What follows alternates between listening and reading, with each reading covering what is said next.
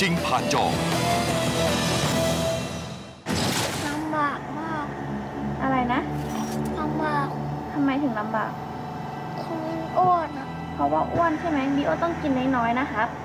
โอเคไหมครับสู้ๆนะครับ นั่นคือความในใจของบริโอที่ต้องใช้เครื่องช่วยหายใจอยู่ตลอดเวลา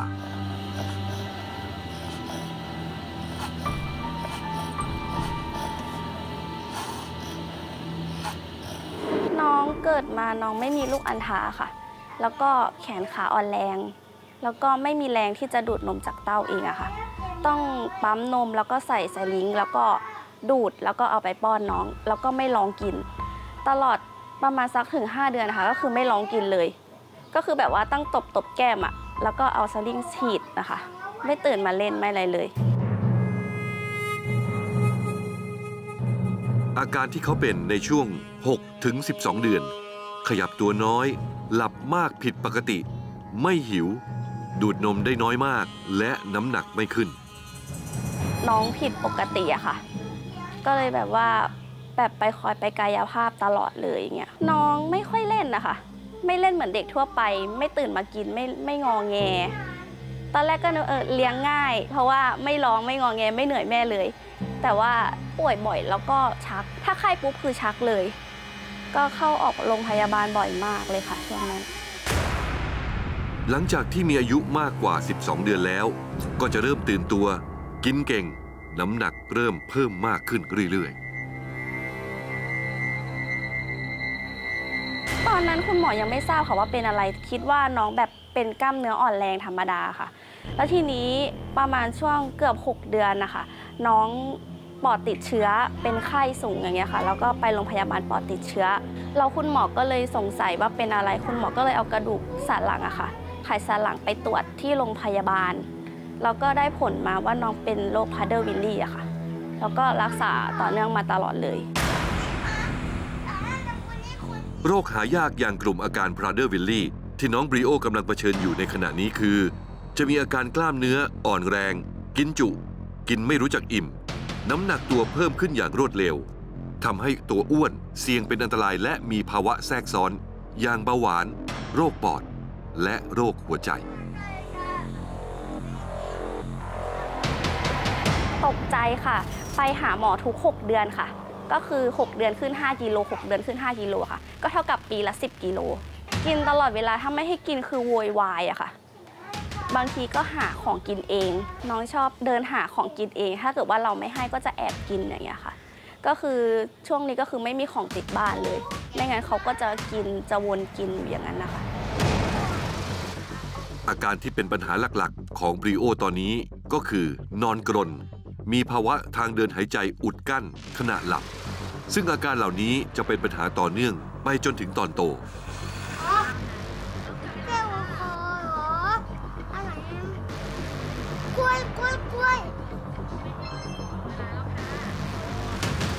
ย้อนไปตอนสองขวบครึ่งนะคะ น้องใส่สายออกซิเจนแล้ว แต่ว่าใส่เฉพาะตอนนอนตอนกลางคืน แล้วทีนี้พอน้องมาป่วยหนักตอนประมาณเกือบ3ขวบอะค่ะ ก็คือคุณหมอถอดไม่ได้เลย ก็คือต้องใส่ตลอด 24 ชั่วโมงเลยค่ะ ส่วนตอนกลางคืนก็ใส่เป็นเครื่อง c p a c มันจะเป็นเครื่องแรงดันลมสูงอะค่ะ แบบว่าดันเข้าไปในปอดอย่างเงี้ยค่ะ เพราะว่าออกซิเจนอย่างเดียวคือช่วยน้องไม่ได้แล้ว น้องมีภาวะหยุดหายใจตอนกลางคืน ก็เลยต้องใช้เครื่อง c p a c ช่วยน้องอะค่ะ ส่วนเด็กคนนี้คือกัสตัน ตัวจ้ำม่ำคนดังในโลกออนไลน์ ที่หลายคนเห็นแล้วก็รู้สึกเอ็นดู น่ารัก น่าหยิก แต่หารู้ไม่ว่าภายใต้ความน่ารักนั้น น้องกัสตันมีน้ำหนักตัวที่เกินมาตรฐาน จัดอยู่ในกลุ่มภาวะอ้วนเช่นเดียวกับน้องบริโอ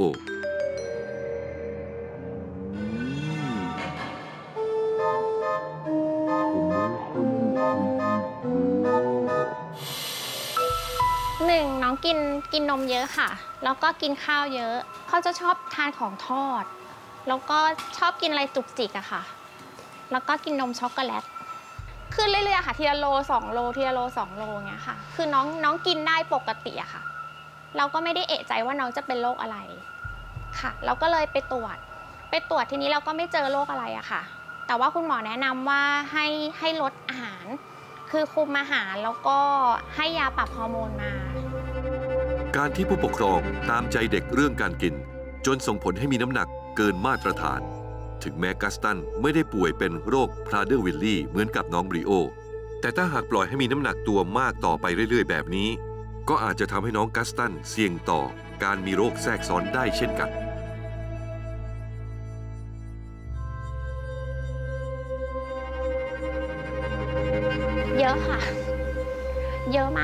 ทำยังไงถึงถึงถึงลดได้ ก็เลยแนะนำว่าให้คุมน้ำหนักอะค่ะ ก็คือจากของของทอดเนี่ยก็คือให้ให้ให้กินลดน้อยลง จะชอบมากคือไก่ทอด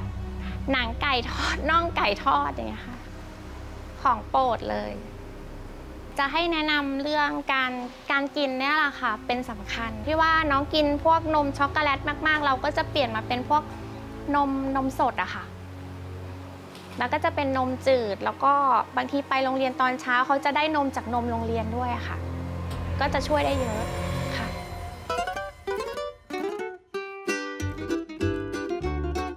ด้วยความเป็นห่วงเรื่องของสุขภาพ ก็มีแฟนคลับของหนูน้อยกัสตันหลายคน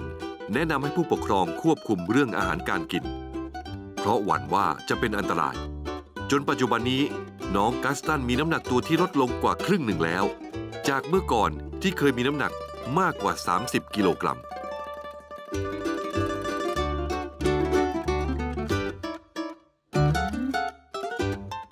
กว่าจะลดได้ประมาณปีกว่าค่ะ เรารักษามาปีกว่า ถึงจะได้ขนาดนี้ แต่ก็ยากเหมือนกันค่ะถามว่ายากไหมยาก คือน้องเคยกินแบบตามปากอะค่ะ แต่ว่าเราต้องมากำจัดว่าอันอันนี้กินไม่ได้ อันนี้กินได้อย่างเงี้ยเขาก็จะหงุดหงิดเหมือนกัน ตอนนี้ก็จะมีปั่นจักรยานค่ะ แล้วก็มีเตะบอล มีตอนเย็นให้เดินเล่นบ้างอะไรแบบนี้ค่ะ ก็คือพาขับรถเล่น พาทำกิจกรรมค่ะ ก็จะมีพี่ชายอีกคนหนึ่งที่คอยนำเตะบอลตอนเย็นทุกวัน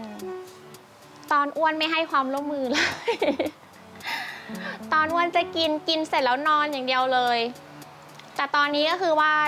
น้องให้ความร่วมมือเรื่องการออกกำลังกายเยอะค่ะ การออกกำลังกายอาจเป็นเรื่องง่าย และเป็นแนวทางการลดน้ำหนักสำหรับใครหลายคน แต่สำหรับบริโอแล้ว การที่ต้องใส่เครื่องช่วยหายใจ ตลอดเวลานั้น มันช่างเป็นอุปสรรคเอามากๆ แต่น้องบริโอเองก็พยายามที่จะขยับตัวให้ได้มากที่สุดเท่าที่จะทำไหว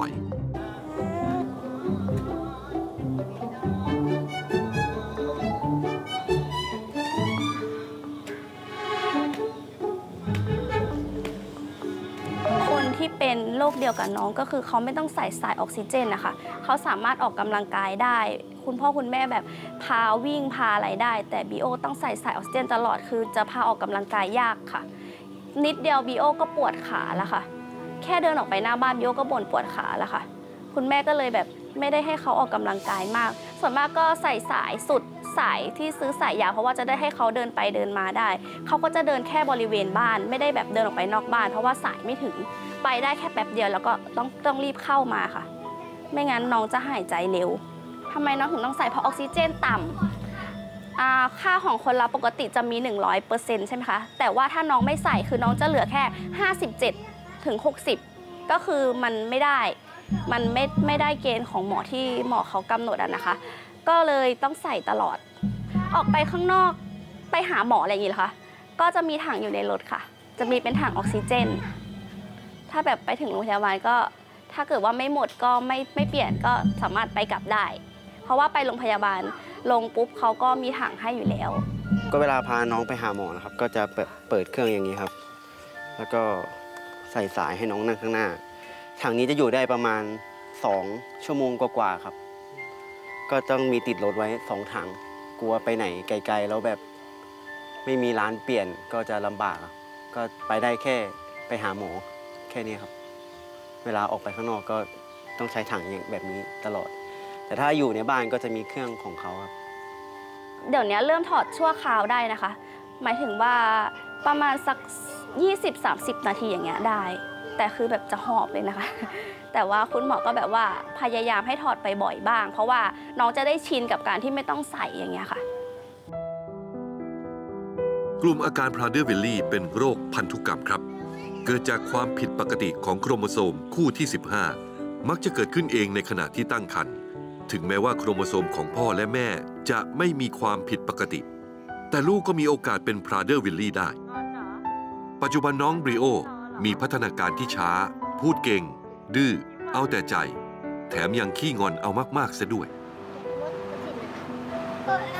่าย สอนค่ะ คุณแม่สอนเองก็เอาเอางานแบบว่าปิ้นงานมาให้น้องทำอะไรอย่างเงี้ยค่ะ ตามวัยของน้อง ก็ฝึกเขียนไปอะไรเงี้ยได้ พัฒนาการถ้าเต็มร้อยตอนนี้น่าจะได้ 80อ่าเลขได้อ่าท่องกอไก่ได้ แต่ว่าเขียนไม่ได้ค่ะ จะระบายสีได้อย่างเดียว แต่ว่ายังฝึกเขียนไม่ได้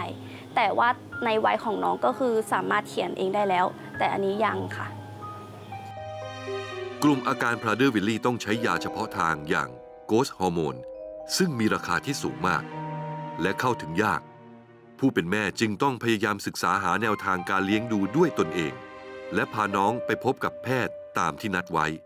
เพื่อรักษาตามอาการเพียงเท่านั้น ส่วนอีกหนึ่งเรื่องที่คุณหมอบอกกับคุณแม่ ให้ทำใจมาโดยตลอดคือ น้องบริโอ อาจจะจากไปได้ตลอดเวลาครับ แม่ไม่เอาไปอะ